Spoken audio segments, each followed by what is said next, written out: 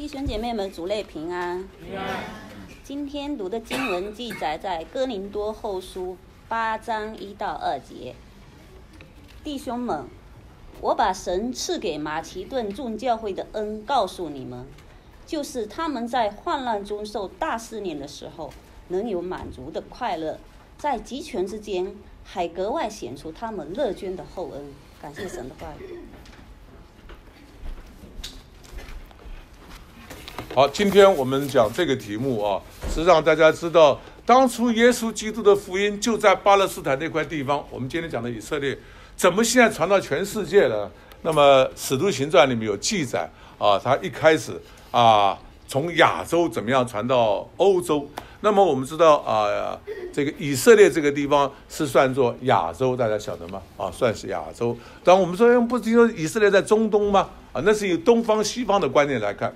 假如说以亚洲、欧洲的观念来看的话，那么以色列是属于西亚，亚洲的西亚。那我们西亚再往这边走的话，再往右手边走的话，就是怎么样？中亚，对不对？中亚再往右边走的话，就东亚，就到了我们中国了啊。所以我们是以亚洲的观念来看。那么 圣经那个时候是以亚洲的观念来看，所以讲亚细亚，亚细亚指的就是怎么样啊？从这个爱琴海分开来以后，这边就是什么？都亚洲了。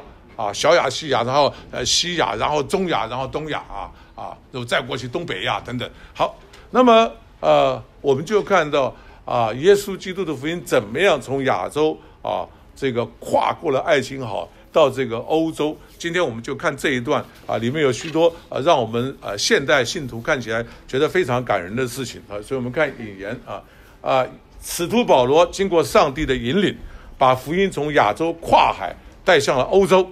并在菲利比第一个城市菲利比啊建立了第一间教会，这个过程中的艰难困厄啊啊，可是也产生美好的见证。那这两样啊啊，远超过我们今天我们所谓的文明社会。我们今天的文明社会很难想象那个时候很野蛮的一些事情。刚啊，刚才我们还读的只读了一部分啊，后面我们就会发现啊，当时的这个艰难啊，值得我们啊再三的深思啊。那么第一个，我们就讲到。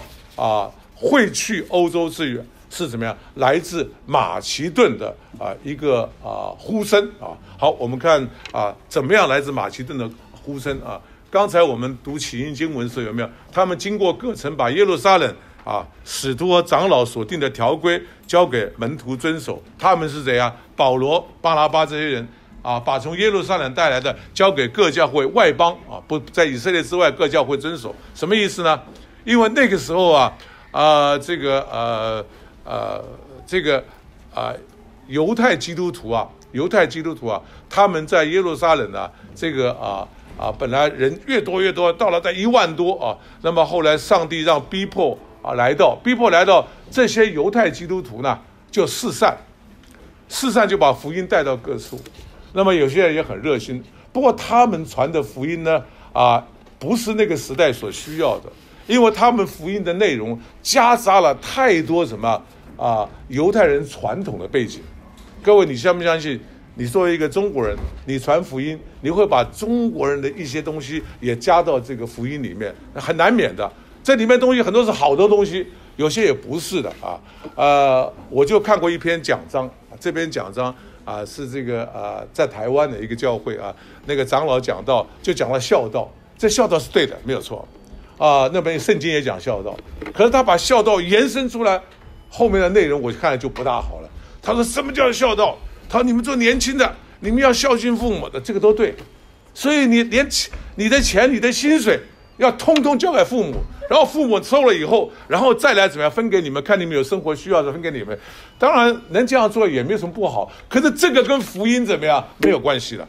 如果有的人没有这样做，你不能说他他不是一个好基督徒，他不懂孝道，你了解吗？所以传的时候会把你一些传统的东西，或者你家乡这些传统东西，你认为好的东西，跟福音怎么样绑在一起传了。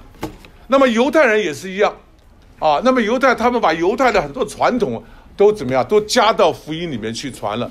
就后来保罗巴拿巴呢，他们回到耶路撒冷以后，他们第一次布道完了，回到耶路撒冷以后，他就觉得问题严重。后来耶路撒冷开会，开会了以后就说那些东西不要让外邦人遵守了，我们犹太人自己愿意遵守就算了。啊，外邦的基督徒不用遵守这个。啊，犹太基督徒，你愿意继续遵守是传统嘛？很好，可是不要把带到外邦人去。犹太人那个呃传统很多的，比如哪些东西不能吃，那些坚坚决禁止不能吃的。还有比如说啊，犹太人基本上他们在一起吃饭，不跟这个外国人一起吃饭，因为外国人吃的东西脏，外国人卫生习惯啊也不好，因为犹太人的卫生习惯是非常严格的。你如果读旧约圣经啊，那么所以在这种情况下啊。呃，这这些啊，这些犹太基督徒很热心，就把很多犹太人的传统啊，都带成变成福音的一部分。所以后来保罗跟巴拉巴他们就把耶路撒冷使徒和长老所定的条规交给门徒遵守，这样就简单了，知道吗？他的条规就是把那些都去除掉，最后只剩四条，就这四条，请大家遵守，其他通通都不要了。那么，于是众教会信心越发坚固，人数也天天加增。那么，然后上帝就有他的旨意了，圣灵就禁止他们。我们刚刚读的什么呀？不要在亚细亚啊，亚细亚就是 Asia，我们现在叫亚洲。各位这一块就是怎么样？我们今天的土耳其。那么，那么那边那个那个红色那一块呢，就是什么？就是东欧啊，东欧欧洲了。所以中间那个海叫什么？A 景叫什么？爱琴海。所以呢，在爱琴海这边，我们整个叫亚细亚。那么啊，圣经说这个。圣灵禁止他们在亚细亚，因为亚细亚已经已已经该讲的地方，他都认为已经讲过了。然后呢，啊，他们就不在亚细亚，然后他们就什么想到比推尼去，就越过怎么样弗里加，越过加拉太，要到比西尼去。那么上帝又不准啊，主的灵又不准，所以他们就越过美西亚，下到一个地方叫特罗亚，在这个地方。那天晚上，在特罗亚，保罗呢就在梦里面呢。看到一个异象啊，这就是啊我们讲的这个啊马其顿的呼声啊。那么这个特洛亚啊，各位知道什么地方吗？有的地方不翻特洛亚，翻到特洛伊有没有？在这个之前发生过一个故事，叫木马屠城记有没有？啊，就是这个这这个地方啊。好，那么保罗那天晚上在啊跟他的同工在特罗亚那天晚上，他就一个梦，梦里面就梦到一件什么事情啊？我们看下一页。在夜间有异象现于保罗，有一个马其顿人站着求他说：“请你过了到马其顿来帮助我们。”保罗既看见这异象，我们随即想要往马其顿去，以为神召我们传福音给那里的人听。就是保罗在梦里面看到一个马其顿人向他这个显现出来，跟他讲：“请你过来马其顿来帮助我们。”那么这就是啊历史上新约开始的一个很著名的宣教的意象，叫做马其顿意象，有人叫做马其顿呼声啊，这都可以啊。那么这个马其顿人是谁呢？不知道，也没有说是保罗的朋友，什么都没有说。反正是保罗梦里面就就知道这是个马其顿人，他要我过去，那他觉得很清楚，上帝要借着这个异梦啊，这个意象啊，让他过去马其顿去啊。那么，于是我们看下一页啊。好，于是从特洛亚开船，直到沙摩特拉，隔天到了尼亚波利。我们看特洛亚在这边开船有没有？沙摩特拉是一个海岛，这个岛呢再过去呢就到达尼亚波利啊。到尼亚波利，这整个地方都是什么呀？马其顿。我们看马其顿整个地方是马马其顿，然后马其顿下面这个叫雅盖亚啊啊。那马其顿那时候很大的，很大的一块马其顿。现在马其顿没有那么大了。现在马其顿像这这边这些城市都属于今天的希腊，啊，都属于希腊。你说我要坐飞机去马其顿，那就给你载到别的地方去了。你说我要去马其顿的菲利呃这个这个菲利比啊，现在菲利比不属于马其顿的，属于希腊了。马其顿的范围现在比较缩小了。好，我们看啊，到了尼亚波利，啊啊，那么所以马其顿的教会，圣经里面讲马其顿的教会基本上这三个教会：菲利比教会、天上罗尼教会、比利亚教会。啊哥林多教会在这里，这算什么雅盖亚了啊？所以马其顿就是这三个教会啊，这三个教会。好，那么啊，我们啊再看下一页，尼亚波利啊，这个海岸，保罗从这边上岸的啊。这一次呃，我们旅行团啊啊两个月前啊去的，我们就是啊从尼亚波利开始看起啊，看到这是从上往下看的啊。这个登岸的地方啊，大概就是小小小船、木船可以啊，因为它这个地方不具备有那个什么大海港的这个这个这个条件啊。那么怎么上来的呢？各位看这边有没有？这边有什么？有楼梯啊。我们看下一页。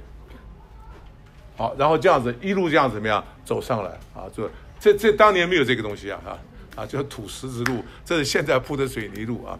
好，就这样上来，上来之后，然后怎么样？然后他们步行或者顶多坐个牛车马车，然后到达什么？到达菲利比啊，尼亚波利啊啊，最接近的地方就菲呃就是这个菲利比。我们回到上面一个图去看好吗？好，再上个好，我们看这里啊。尼亚波利旁边有没有菲利比？看到没有？所以再走路过去啊，走路到菲利比去。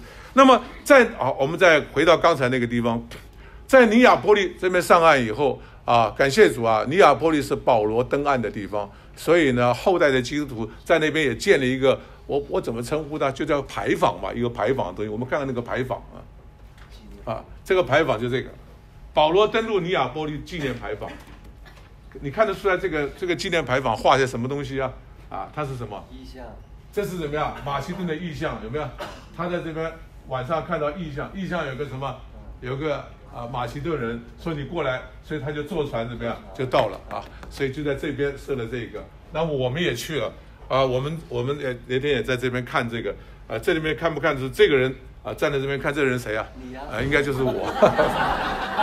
我我判断了一下，应该是我，应该是我。因为是背影啊，好，那么呃，这是尼亚波利，然后他们就从尼亚波利就走过去。各位，我到那个现场，你就看到啊，就在海岸看说，哇，那两千年前就这样艰难的环境上来啊，不是海港，不是客轮啊，就这样子，那种传福音的那种 passion，那样的热忱，真是我们现代人很难想象的。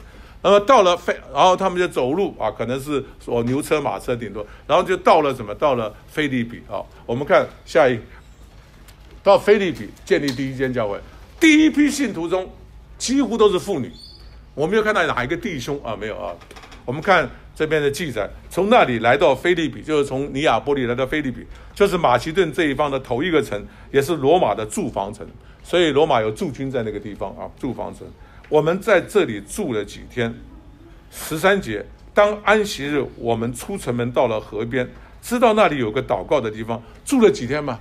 有打听嘛？听说那里有一个河边，河边有一群人在那边祷告。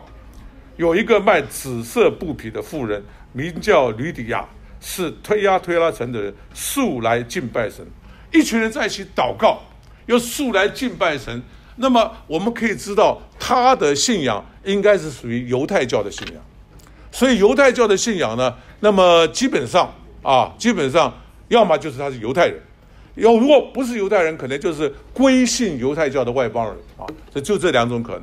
那么啊，保罗就知道有这样的一个地方了，所以保罗怎么样就去这个河边啊，去这河边。然后请注意，他已经出来已经知道敬拜神，只是那个时候呢。犹太人都知道敬拜神，可是不知道神差遣了他的爱子耶稣基督到成为什么肉身来到世上，这个都不知道。所以保罗他们去向犹太人传什么？不要跟他讲传那个什么创造宇宙万有，这个这个他们都已经知道了。就是讲耶稣基督就是弥赛亚啊，就这件事情啊。那么所以感谢主啊，就是啊，这个保罗就过去跟他们讲到。我们看下一页。那么这个呃，吕底亚听见了，主就开导他的心啊，叫他留心听保罗所讲的话。他和他一家既领了喜，便求我们说：你们若以为我是忠心事主的，请到我家里来住。求我们写使徒行传的是谁啊？陆家，所以陆家跟他一起。所以说，你们如果真的认为我们是真信的，不是不不不是忽悠你们的，不是不好意思给你们面子的，我们是真信的，那请到我们家来啊，我们来接待你们。因为呢，啊，圣经里面有也讲到一个这个信徒的接待有没有？这个接待很重要，就是说你爱心来接待远人、远方来的人。那么从这个吕底亚开始就是这样，他真心信了，看到这么多人，这么这些人这么辛苦，这么不容易跨海过来，啊。然后来什么？就是传这个福音啊，那个呃小朋友约束他一下，因为他这样会影响后面的人。先他们分开来做好了啊。好，那么我们看啊，所以这是一幅画，就讲到这个吕底亚非常的啊好客啊好客。你看他就接待这些呃呃使徒和他的同工们啊。那么这个吕底亚的这个名字很好用，所以现在很多人也取名叫吕底亚。那么呃，英文叫 Lydia，所以你们看到有不少人取名叫 Lydia 没有哈？就是就是这个啊，吕底亚啊。那么感谢主啊，那么呃，这是啊第一批保罗后来离开以后建立教会，这第一批信徒看到没有？从头到尾没有没有讲到某个弟兄，几乎都是姐妹，一群妇女在河边怎么样祷告。没有没有讲，如果是有男的话，就这样一群什么，一群一群人在那边祷告，他一群妇女在那边祷告，所以啊，保罗一看，嗯，这些人怎么样啊？这个在那边祷告啊啊，这个人素来敬拜神，所以保罗就有这样的愿望，先向自己的同胞传，有没有？对不对？啊，跟他们把把基督讲清楚啊。所以啊，感谢上帝，这个地方呢，我们也实际去了啊，在一个河边，我们来看一下，我们到到了这个河。到现在水还是很清幽的啊，还还是很清幽的。然后在旁边盖了这么个地方啊，然后这一块呢是干什么呢？是一个十字架的形状，在这边可以怎么样受洗啊？可以在这边施洗施洗。那么那天我们在这边，呃，我在这边给大家分享了啊，你们可以看到哪些人呢？这个人也很很明显啊，一看就知道谁。好，我们看下一页，我们看下一页，下一页呢，这边有一个小台子。这个台子就是啊，如果呃人不多的话啊，在这边可以分领圣餐啊。那天我们没有在这里分领圣餐，我跟大家分享一段经文。那么呃，其他的图片里有什么？有这样的人啊？你看这边也做一些人，这边先在这边怎么样分领圣餐？所以在那个地方，我们非常啊有感恩的心啊，就在这样的河流，现在还保存的很好啊，水还非常的干净，非常清幽，在那边受洗。直接下去也不用担心上来以后这个会不会什么身体发痒啊什么之类，一直是流水的啊，一直流水，非常好的一个地方，感谢上帝啊。那么我们也去了那个地方。好，保罗在他们家住了几天，同几个童工住了几天，住了几天，然后我们不能只能休休息几天啊，然后我们要什么？我们还要去传福音，所以我们看第二批会友，第二批是怎么样会友？我们看下一页啊。第二批信徒是狱卒的亲友，就是他们被关在监牢里了。后来监牢里管他们的这些狱卒啊，啊，就有一位狱卒啊，他后来信信主了。但这个经过我们看啊，一开始他们保罗和他的同工遭遇到污蔑、鞭打跟羞辱。我们看这段记载。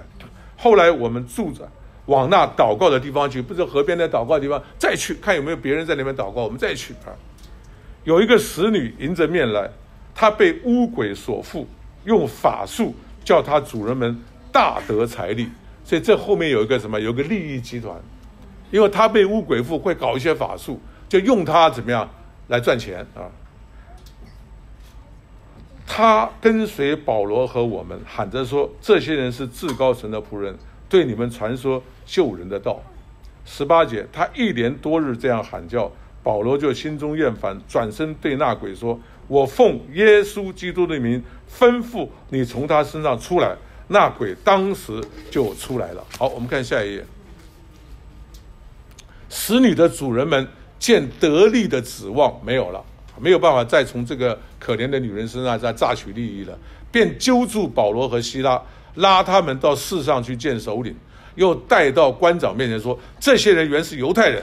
竟骚扰我们的城，传我们罗马人所不可受、不可行的规矩，众人就一同起来攻击他们。官长吩咐剥了他们的衣裳，用棍打，打了许多棍，便将他们下在监里，嘱咐禁足严禁看守。禁足领了这样的命令，就把他们下在了内监里，两脚上了木狗。我们看看这一段记载啊，这些这些人是陷害他。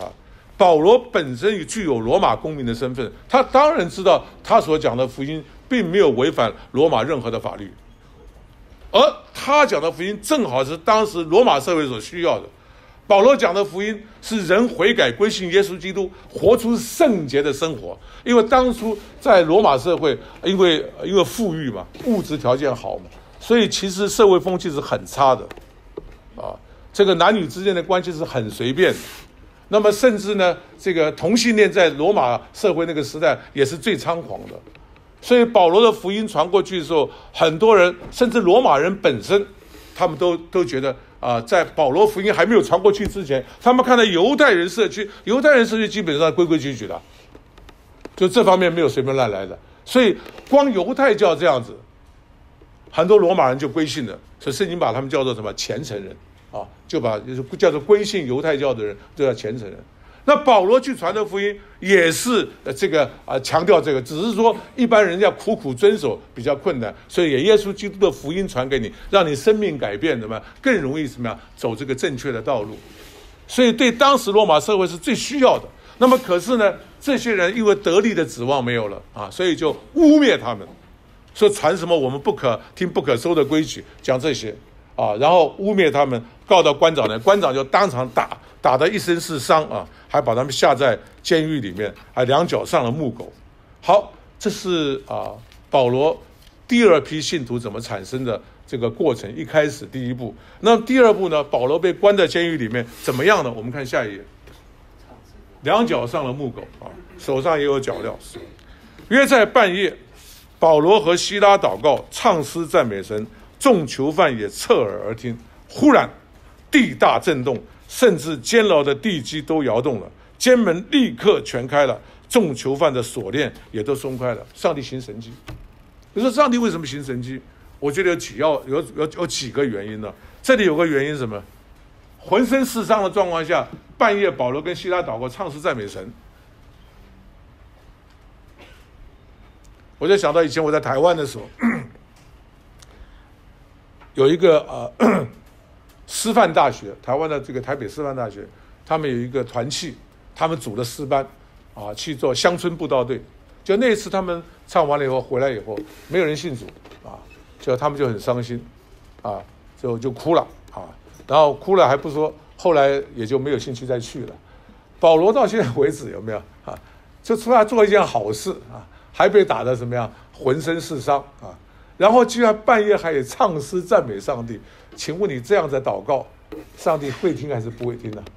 当然要听啊，所以当然要听。上帝拯救还是不拯救啊？当然拯救啊，在这种情况当然拯救。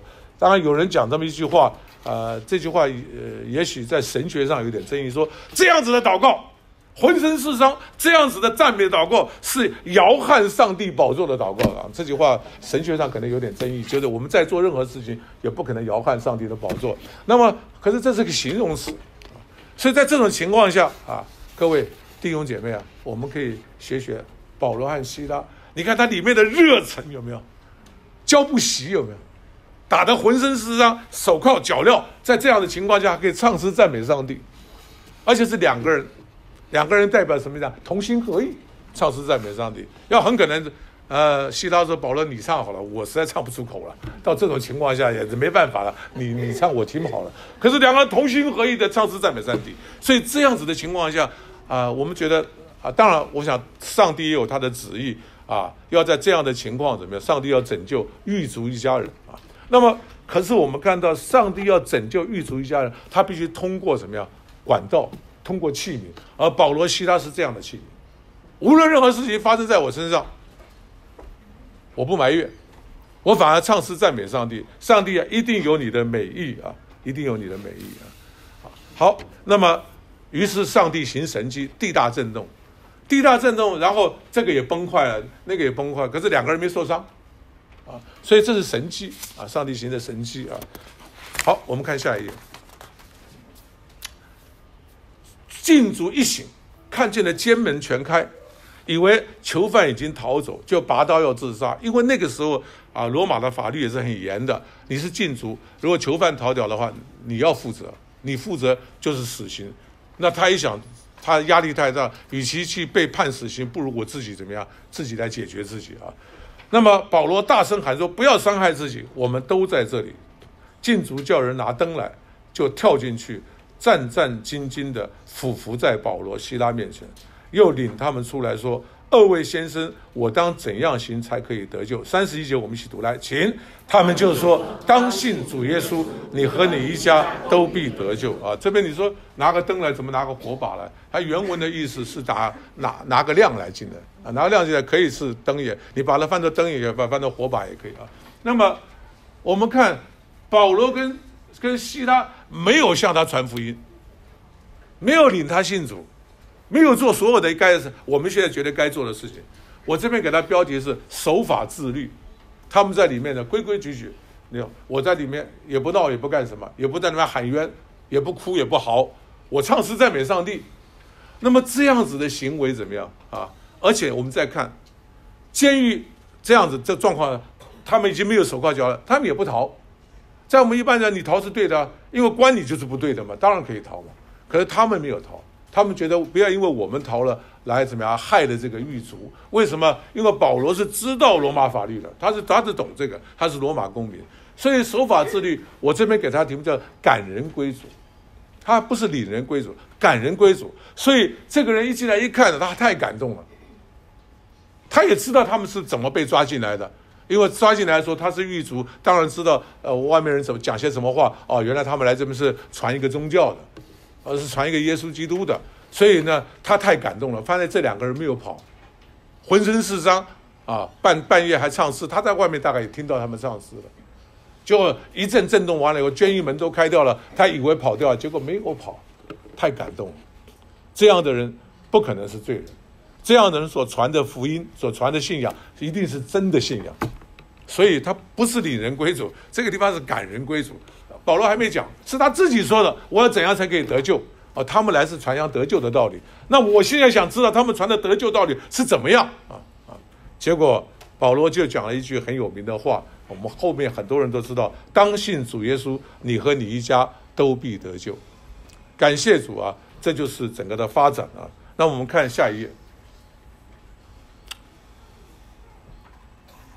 他们就把主的道讲给他和他全家的人听，他应该就住在附近啊。当天夜里，就在那时候，禁足把他们带去洗他们的伤口。他和属他的人立时都受了洗。他还属他人，表示他的亲人，他的家人。我估计不会超过十个。一个一个狱卒啊，也没多少钱，那那大概大概我自己估计啊，六七口不得了了。还有可能他有没有部下？可能有有一两个部下啊，因为我们去过现场，那个监狱不大，啊不大，所以也没有很多的人。可是就和这些属他的人，历史都受了洗。三十四节，于是禁足领他们上自己家里去，给他们摆上饭。他和全家因为信了神，都很喜乐。所以我们刚刚讲那一句话说：“当信主耶稣，你和你一家都必得救。”所以这边讲的这个禁足和属他的人，我估计啊啊。可能就是他们一家人啊，属他的人应该就是一家人，可能没有部下，没有其他人。那么这就是禁足啊。那么他和他一家，那个时候请注意是家长制啊，所以禁足信得主，很容易让全家怎么样也都信得主。今天这个时代可能不一样了啊，所以这句话只是劝勉你啊，当信主耶稣，你和你一家都必得救。那么很多人后来就就就觉得这句话不灵光啊。那么当然时代有点差异，可是另外也是。勉励你，你就好好的怎么样啊？继续的不断的祷告，不就不断的做见证啊？呃，当初我们这我们家里，我父母是最难信主的啊。可是感谢主，呃，我为他们祷告了几十年，到了后来他们八十多岁都信主，现在九十多岁，他们现在信主也快十年了啊，到现在还在啊，感谢主还在坚持的信仰啊。那么我父亲虽然头脑已经不太清楚了，可是我母亲还每天啊带着他一起祷告。吃饭的时候，我母亲说：“老头祷告，祷祷祷告。”我爸爸就祷告啊。那么每天晚上睡觉的时候，我母亲也跪在床床边为我父亲的健康祷告啊。感谢上帝，呃，就是怎么样恒心。所以你说当时那个狱卒保罗讲了这句话，那狱卒他们一家人当天就就通通信主了。怎么我们家怎么搞这么久啊？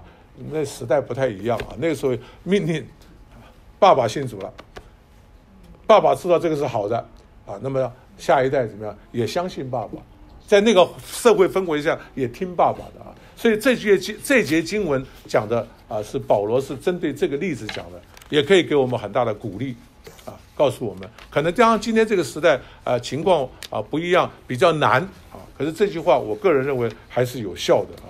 好，所以他们都很喜乐啊，都很喜乐。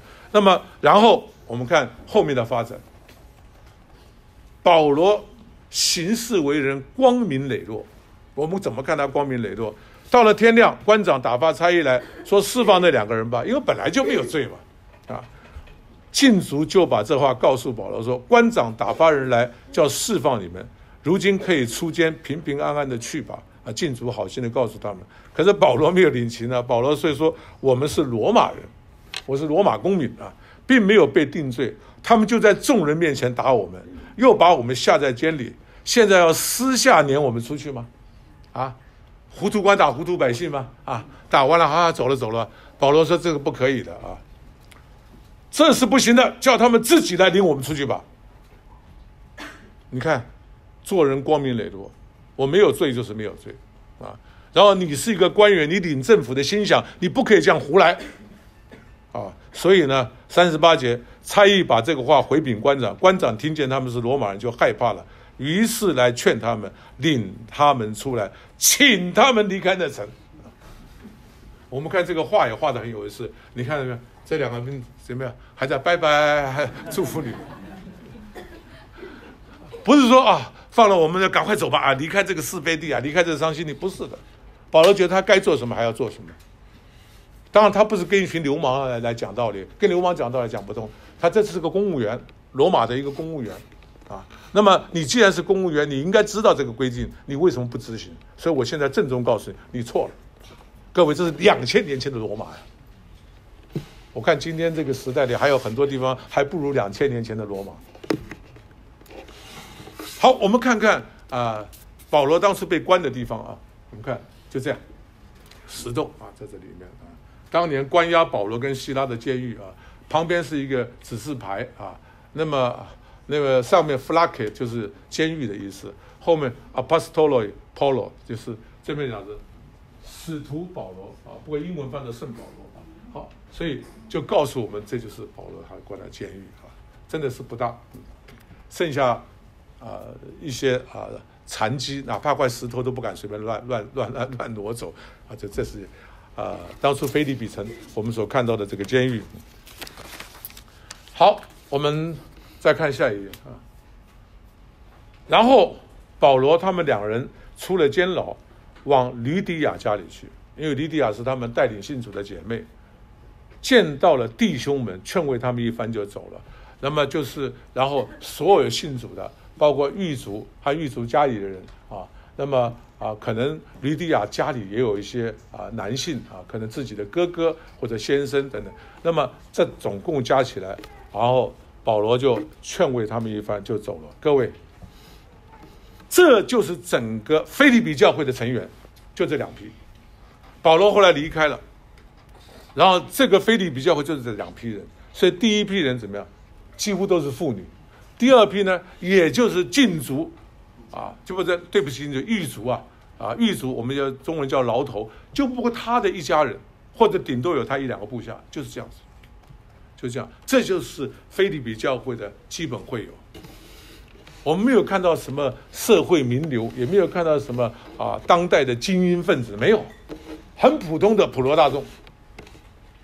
这就是菲利比教会，可是菲利比教会却活出许多许多的美德。我们看菲利比教会是怎么样的美德？我们看下一页。刚才我们读的经读到了，菲利比的教会，在极穷的时候仍然乐捐不落人后。我们看看啊，这是保罗写信给哥林呃哥林多教会。用菲利比教会、用马其顿教会的例子来劝勉这个哥林多教会弟兄们，我把神赐给马其顿众教会的恩告诉给你们。马其顿众教我刚刚讲了，哎呀，菲利比教会、帖撒罗尼教会，还有什么比利亚教会啊？他说我把马其顿众教会的恩告诉你们，就是他们在患难中受大试炼的时候，仍有满足的快乐在极穷之间还格外显出他们乐捐的厚恩。这个是啊，这是他是这是啊，保罗讲给这个哥林多教会，我可以证明他们是按着力量，而且也过了力量，不是按着力量，是过了力量啊，自己甘心乐意的捐助，再三的求我们准他们在这供给圣徒的恩情上有份，什么意什么意思知道吗？当时天下闹饥荒，啊，耶路撒冷教会是这个饥荒最严重的地方，然后保罗就说。啊，我要收下呃外邦各教会的你们的这个捐款，我要回耶路撒冷，带了去帮助耶路撒冷那些挨饿的那些信徒。那么啊，菲利比教会呢啊，或者我们说马其顿这些教会呢，当时是很穷困的，因为他们也遇到饥荒啊，可能情况比耶路撒冷好一点啊。他们到底是在整个罗马帝国里，那么不让他们啊，说你们呃差不多就行了。可是他们怎么样，再三的求，我们起码比他们还好一点嘛。他们没饭吃，我们起码我们吃的不好，可是还是有东西可以吃嘛，大概是这个意思。再三的求，准他们在供给圣徒的恩情上有份。各位，我就想到这个我们中国教会，我们中国教会一直从历史以来一直都是接受西方援助，所以我们到现在奉献还站不起来。当初贫穷的教会马上就站起来了，啊，这是保罗讲的例子。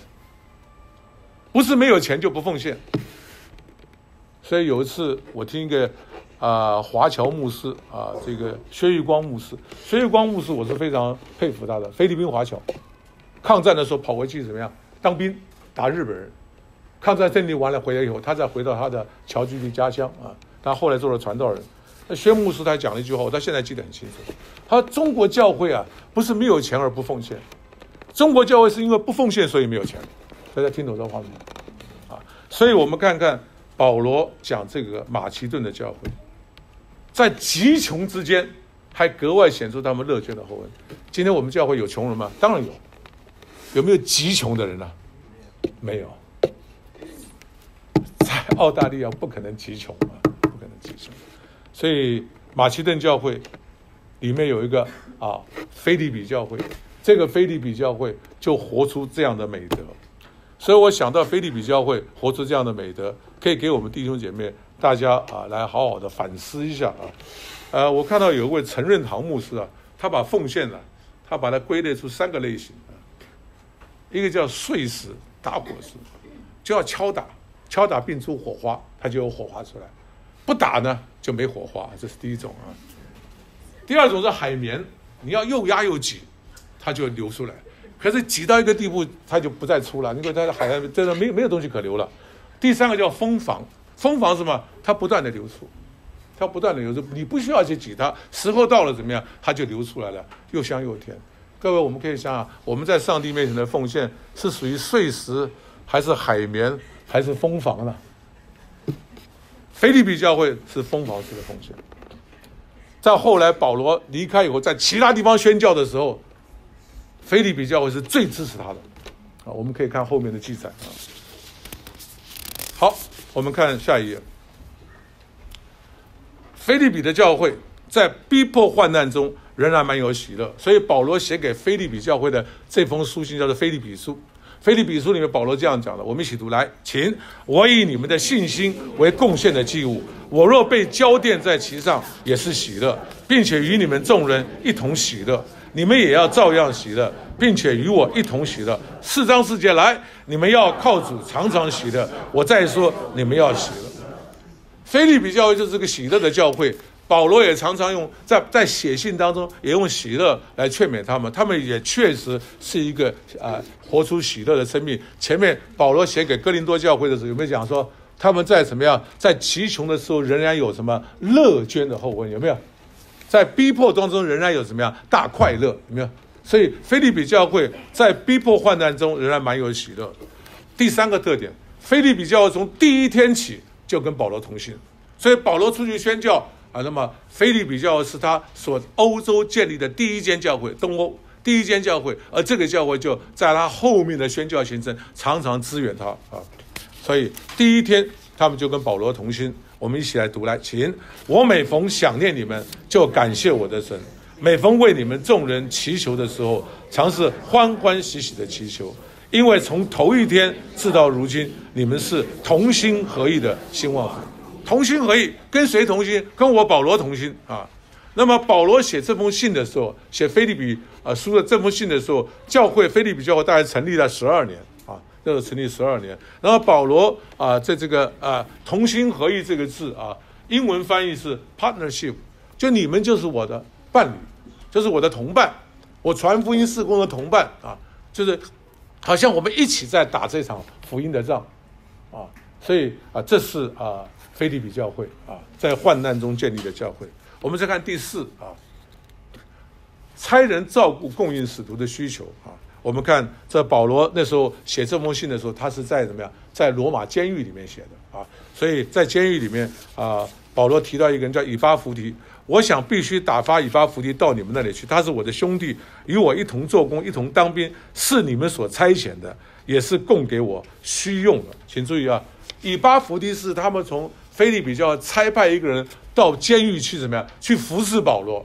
因为保罗那时候啊年纪也大了，也一身是病，所以去服侍他啊。这个是以巴弗提啊，所以啊，那么保罗就觉得以巴弗提后来生病的时候，保罗说：“我赶快把这以巴弗提怎么样派回去啊，让你们不要太思念他。”我们看二十六节，他也他很想念你们，并且极其难过，因为你们听见他病了，他实在是病得几乎要死。然而神连续他，不但连续他，也连续我，免得我忧上加忧。所以我们看以巴弗迪是菲利比教会差派他。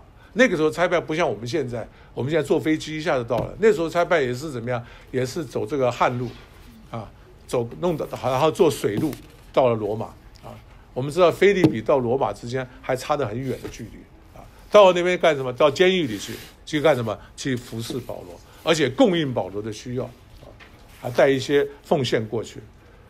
这是菲利比教会。我们再看菲利比是四章十五到十六节，我们看下一节。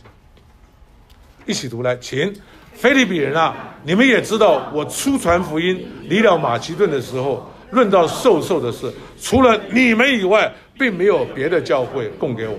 就是我在帖撒罗尼迦，你们也一次两次的打发人供给我的需用。保罗在帖撒罗尼迦是怎么回事？我们知道，他离开菲利比，下个地方就到了什么样？帖撒罗尼迦，然后在帖撒罗尼迦遭遇到什么样很大的逼迫？那一次在帖撒罗尼迦，差点把命都送掉了。在那样艰难的环境里面，教会建立还没有多久啊。可是呢，菲利比教会怎么样？就供应他，一次两次的派人把保罗的这个传道所需要的生活费啊，所需要的费用送过去。这是菲利比教会。而菲利比教会在什么样情况下建立的？我们都知道，一开始就是一群姐妹，后来就是狱卒他们一家人，叫做普普通通这两批人，这两批人。也都是，就尼迪亚，也不过就是一个小生意人，卖紫色布匹，那个时候没有开公司啊，啊，那么我们再看，狱卒也不过是小公务员，感谢，感谢主啊，这批人怎么样，被福音兴起，他们珍惜上帝所赐给他们的福音，所以这是保罗到了欧洲，我们讲东欧啊。所建立的第一间教会——菲利比教会，就这两批会友。我们常常想到，以前我们在台湾，啊，教会的时候，常常想到，哎呀，这个经济，如果王永庆是我们的会友就好了。圣经上从来没有讲说哪一个教会他们非常的啊富裕，因为他们教会有个大财主。圣经从来不是教导这样子。啊，好，最后我们看点结论。菲利比教会在艰难中成立的时候，只是些极其平凡的信众，但在依然艰难的后续时日里，却活出感恩喜乐、慷慨助人、同心宣教、关爱神仆等等美德。今日信徒，我们也应该羡慕善功，并且效法先贤。